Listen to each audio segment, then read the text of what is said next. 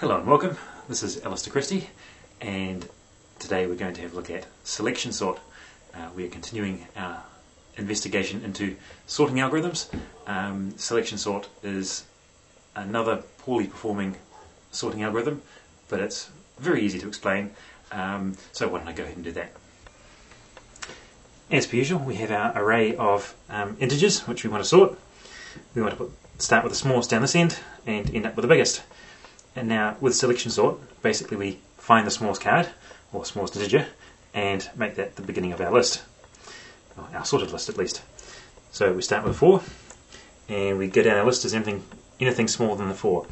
And yes, we find a 3, uh, anything smaller than the 3, yes, the ace, anything smaller than the ace, no. It goes to the beginning of the list. Start with a 4 again. Is there anything smaller? Yes, the 3 smaller. Uh, anything smaller than the 3? Yes, the 2. That at the beginning. And again, anything smaller than the 4? Yes, the 3 smaller. Anything smaller than the 3? No.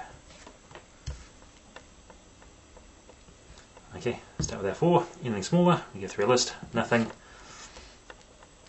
Start with the 7. Anything smaller? Yes, the 6 is smaller.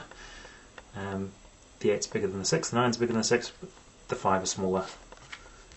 So we check that at the beginning. And again, start with the 7, anything smaller, yes the 6 is smaller, nothing smaller than the 6. The 7, nothing smaller than it. 8, it's now the smallest. And 9, only one left, so it goes on the end. And that's basically how selection sort works.